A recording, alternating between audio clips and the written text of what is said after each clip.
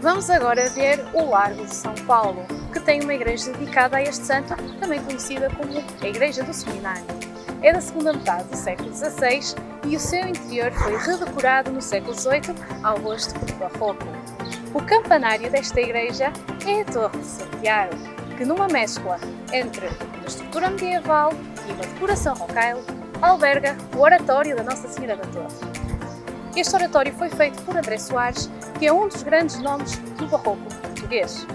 Foi mandado construir em ação de graças à Virgem Maria, dado que o terremoto de 1755 se fez sentir em Braga, mas do qual não resultaram feridos, e à época as pessoas pensaram que foi uma intercessão da Virgem Maria.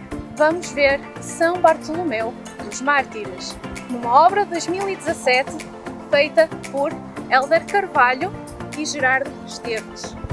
São Bartolomeu dos Mártires foi arcebispo de Braga, nasceu em 1514 e faleceu em 1590.